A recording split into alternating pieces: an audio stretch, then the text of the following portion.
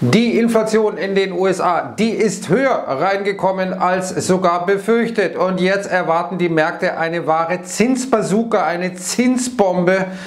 Die Erwartungen, dass die Fed jetzt noch im Juli, 26. 27. Juli, ist ja die Fed-Sitzung, dann die Zinsen mindestens um 0,75% anhebt, vielleicht sogar um 1%, so wie es gestern die Bank of Canada gemacht hat und äh, die Märkte zunächst mal abgeschmiert, aber haben sich dann wieder erholt und diese verrückte Melange, diese verrückte Mischung an den Märkten will ich auch in diesem Video mal kurz zeigen, aber schauen wir uns zunächst mal eben jetzt die gespielte Wahrscheinlichkeit äh, dessen an, was die Fed äh, jetzt äh, dann Ende des Monats machen wird. Rechts sehen wir hier die sogenannten Fed Fund Tools oder praktisch die Märkte, die eben die Zinswahrscheinlichkeiten bepreisen. Und hier liegt jetzt die Wahrscheinlichkeit, dass die Fed sogar einen 100 Basispunkte Schritt, also einen 1% Schritt machen wird, jetzt Ende Juli bei 80%. Man geht also mit 80%iger Wahrscheinlichkeit davon aus, dass hier ein solcher großer Schritt erfolgen wird. Deckt sich das mit den Aussagen der Fed-Mitglieder selber? Die haben sich gestern nach den Inflationsdaten geäußert, etwa Bostic der in die gestrige Euphorie, nachdem sich die Märkte zwischenzeitlich wieder erholt hatten, warum will ich gleich zeigen, jedenfalls da gesagt hat auf die Frage, naja, 100 Basispunkte, 1%, sagte Bostic, everything is in play, alles ist möglich. Dagegen Daily gestern, die San Francisco Fed-Chefin, ja, 0,75% sei angemessen und Mester, die gesagt hat, also es macht wohl keinen Sinn, eine kleinere Zinsanhebung als im Juni zu machen. Juni, die letzte Zinsanhebung, wir erinnern uns, der FED war ja auch 0,75 Prozent. Jetzt inzwischen, und das war der Grund, warum die Märkte sich erholt hatten nach dem ersten Schock über die Inflationsdaten, ist, dass man jetzt davon ausgeht, dass die FED schon im ersten Quartal 23, also um und bei schon in einem halben Jahr die Zinsen wieder senken muss, nachdem sie sie vorher wahrscheinlich deutlich angehoben hat. Hier wird äh, für das erste Quartal schon eine Zinssenkung von 85 Basispunkten, also von 0,85 Prozent erwartet. Also nach diesen schnellen Zinsanhebungen 2022 kommen dann schnelle Zinssenkungen 2023. Und Sven Henrik bringt äh, diese ähm, Schizophrenie der Märkte so ein bisschen auf den Punkt. Heute haben die Märkte abverkauft, sagt er zunächst, wegen den äh, zu hohen Inflationsdaten, weil eben die Fed dann aggressiver die Zinsen anheben wird. Wenn aber die Fed die Zinsen aggressiv anheben wird, dann bekommen wir schneller eine Rezession. Also hat man sich gesagt, super, dann bekommen wir eine Rezession, dann kann die Fed die Zinsen nicht so schnell anheben, ist doch toll, dann kaufen wir Aktien. Dann hat man allerdings festgestellt, dass äh, eben ähm, diese Rate Cuts äh, nicht wirklich helfen, denn die Rezession wird sozusagen dann alles auffressen, was an Gewinnen bei den Unternehmen noch vorhanden ist. Das ist so ein bisschen die verquere Logik. Also schauen wir in die Vergangenheit, dann sehen wir, dass Aktienmärkte gerade in äh, Rezessionen in der Regel sehr schlecht laufen, eben weil die Gewinne der Unternehmen Unternehmen nicht mehr passen, damit sich die Bewertungsfrage stellt. Aber hier sehen wir nochmal äh, diese Rate Cut Expectation, Time to Start Pricing in Quantitative Easing, äh, fragt hier sarkastisch Zero Hedge. Aber hier sehen wir das Paradoxe. Auf der einen Seite steigen die Rate Hike Expectations 2022 massiv an.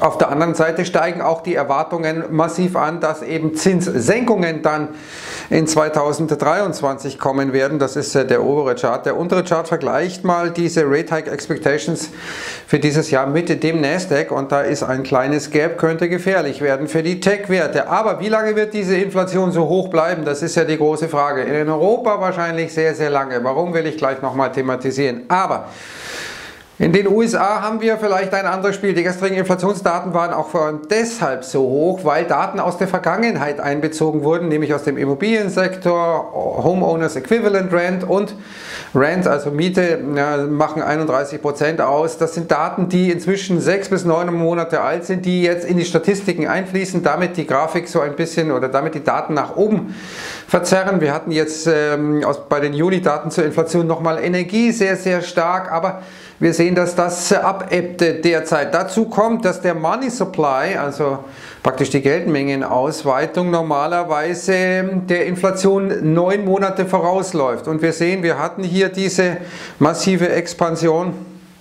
Und, äh, dürften dann bald Effekte auch dieser dieses Tightening-Prozesses sehen, also dieser etwas äh, weniger laxen Financial Conditions, Kreditvergabe etc., die äh, ganzen Dinge mit den Zinsen, die Lebenshaltungskosten, Nachfrage sinkt, all das dürfte sich bald ziemlich deutlich auswirken. Dementsprechend auch äh, diese ähm, schrumpfende Geldmenge, die wir derzeit sehen. Die Fed wird ja erst im September so richtig anfangen, die Bilanzsumme zu äh, reduzieren, nämlich mit 95 bis dahin mit der Hälfte, 47,5. Äh, also es ist, äh, wir sind am Anfang einer Periode, die dann diese Inflation in den USA zumindest deutlich nach unten drücken wird. Heute, 14.30 bekommen wir jetzt die US-Erzeugerpreise. Die werden erwartet bei 10,7 Prozent.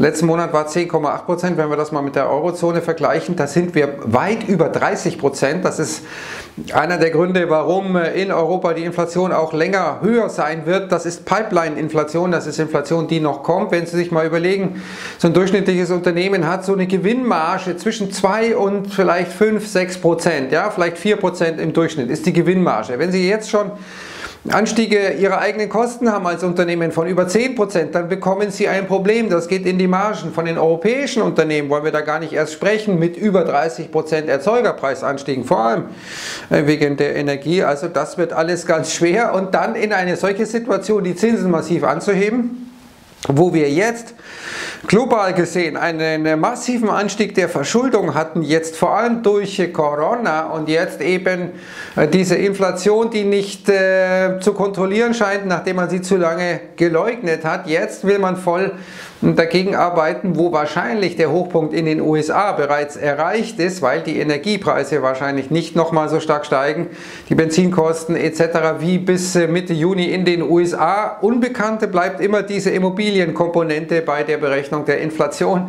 Was da noch auf uns zukommt, ist dann gewisserweise auch ein Glücksspiel. Aber heute beginnt die US-Berichtssaison, wo wir jetzt mal sehen werden, wie die äh, Ausblicke vor allem sind. Wichtig wären natürlich auch die Zahlen aus ähm, dem zweiten Quartal aber vor allem die Ausblicke, dafür werden sich äh, die Märkte interessieren. Wir sehen hier mal die Konsenserwartungen für 2022 mit Energie und ohne Energie. Wir sehen, Energie rettet diese ganze Geschichte für 2022.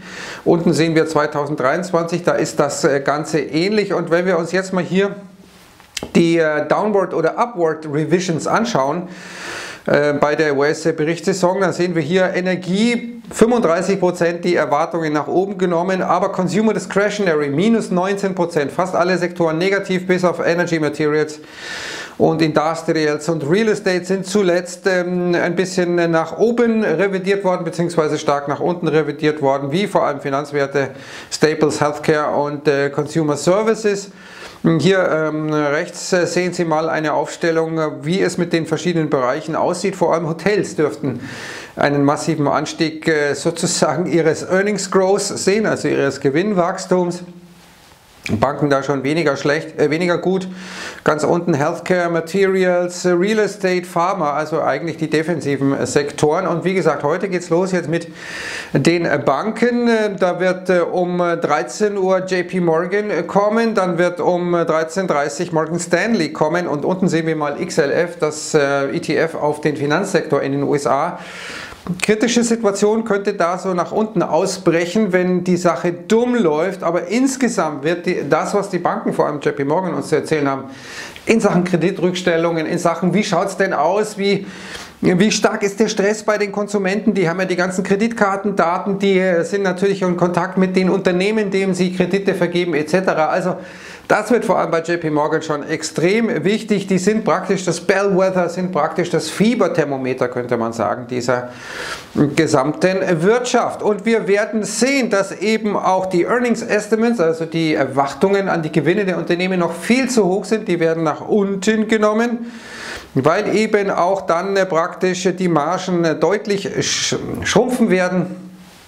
Und äh, wir sehen, dass äh, hier zum Beispiel die Kerninflation, die schon anzeigt, dass da in Sachen Preissteigerung die Dinge nicht mehr so einfach sind, dritten Monat in Folge rückläufig war.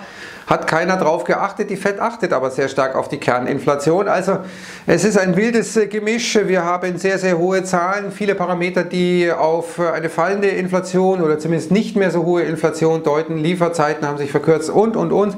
Und auf der anderen Seite haben wir jetzt eine massive Dollarstärke, die an sich schon Stress im System verursacht. Wir sehen hier diesen massiven Anstieg. Äh, bei Euro-Dollar hat man so das Gefühl, immer bei der 1, bei der Parität, da drückt jemand äh, schön den Kaufknopf. Äh, das ist wohl auch so ein bisschen gemanagt jetzt der Kurs. Man will nicht, dass Euro-Dollar unter die 1er-Marke fällt. Mal sehen, ob das so weitergeht. Aber natürlich die Schwäche des Euro ist hier ein ganz wichtiger Faktor für diese ähm, Dollarstärke. Und wenn wir uns die Aktienmärkte mal anschauen, wir haben jetzt die 33. Woche hintereinander, dass mehr Aktien ein 52-Wochen-Tief erreichen als ein 52 Wochen hoch. Das ist die längste Strecke seit der Finanzkrise. Also da sehen wir, das ist schon breit, was da an Abverkäufen passiert, trifft sehr, sehr viele Aktien. Die ehemaligen Highflyer, die IPOs wie Peloton und wie sie alle heißen, die hat es besonders erwischt und besonders erwischt ist auch den Kryptosektor. Jetzt hat der Celsius ähm, äh, auch ähm, äh, Insolvenz angemeldet, eine Kryptobank könnte man sagen. Three Arrows Capital, ein Hedgefonds der im Kryptobereich hat äh, die Segel gestreckt dort das Büro verlassen äh, komplett. Also das ist schon ein ziemlich heftiger Tod, der da gestorben wird nach diesem wahnsinnigen Boom. Auch die die Kryptobranche wird jetzt sehr viel vorsichtiger mit irgendwelchen Werbebudgets, die man auf irgendwelche Seiten packt. Äh, das ist auch praktisch vorbei, weil der Hype vorbei ist. Jetzt kommen wir mal zu uns und äh, zur äh, Situation, die uns besonders betrifft, das ist die Gaskrise. Die EU-Kommission, die wird jetzt tagen und wird sich beraten. Man bereitet einschneidende Maßnahmen vor, wie der Spiegel schreibt, um einen Mangel im Winter zu verhindern. Äh, die Preise werden wohl sehr, sehr, sehr, sehr stark steigen. Jetzt hat Griechenland äh, in Gestalt eines griechischen Ministers uns Deutsche schon angeboten, na kommt doch zu uns, wenn ihr in diesem Winter nicht frieren wollt. Äh, die Inflation und die Aussicht auf einen kalten Winter vermiesen vielen Deutschen die Laune. Griechenland bietet sich nun als Lösung an. Wir werden hier auf Sie warten. Bei uns ist es nicht so kalt. Äh, da müsst ihr nicht frieren. Im Nachhinein kann man sagen, ist doch gut, dass wir die Griechen nicht aus dem Euro geschmissen haben. Ja, das, das macht sich jetzt bezahlt. Jetzt, wenn es bei uns kalt wird im Winter, zack, dann hauen wir ab nach Griechenland gell, und sagen dem Putin, Servus, wir kommen im Frühjahr wieder. Wenn du kein Gas schickst, ist uns das wurscht. Ne? Geht natürlich nicht, meine Damen und Herren, weil wir ein paar Unternehmen haben, die auf dieses Gas angewiesen sind und dann die deutsche Wirtschaft kollabieren würde. Jetzt hat äh, Herr Müller von der Netzagentur gesagt, also die Preise werden sich wohl verdreifachen, wie es aussieht. Ähm, hier sagt er, bei denen, die jetzt schon ihre Heizkostenabrechnung bekommen haben, verdoppeln sich die Abschläge bereits und da sind die Folgen des Ukraine-Kriegs noch gar nicht berücksichtigt. Ab 2023 müssen sich Gaskunden auf eine Verdreifachung der Abschläge einstellen und äh, eben wenn man 1500 Euro im Jahr gezahlt hat, könnten es jetzt 4500 werden. Und er sagt, an den Börsen haben sich die Preise zum Teil versiebenfacht. Das kommt alles nicht sofort und in vollem Umfang bei den Verbrauchern an, aber irgendwann muss es eben bezahlt werden. Also das wird auch noch lustig. Jetzt hat die EU ihre Wachstumserwartungen nach unten geschraubt und ihre Inflationserwartungen wieder nach oben geschraubt. Eine Überraschung sondergleichen. Ja, wer hätte denken können, dass die Inflation ein bisschen aus dem Ruder läuft bei einer solch starken EZB.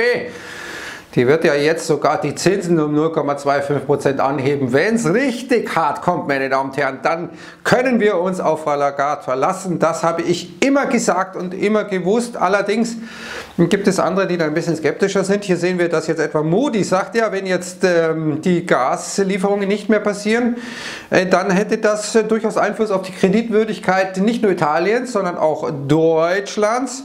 Das würde significantly weaken growth in fiscal metrics, also die Wachstums- und fiskalischen Aspekte deutlich negativ beeinflussen. Also das ist schon ein riesen, riesen, riesen Thema, das dazu führt, dass wir mit Sachen, in Sachen Inflation viel länger wahrscheinlich am Start sein werden als die Amerikaner.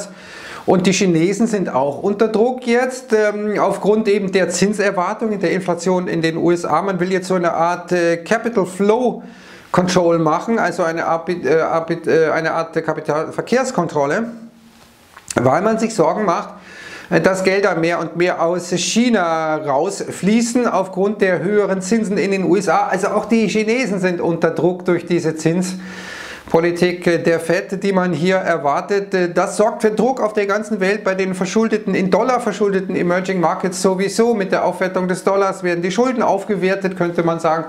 Also die Stresssymptome sind überall der Fall. Die FED äh, läuft Gefahr, hier praktisch ein Schuldensystem zu crashen, das dann zu einem Totalabsturz führen würde. Wird sie das tun? Im Zweifel glaube ich nicht, aber die Frage wird sich irgendwann stellen. Und nochmal zurück zu China, Shanghai.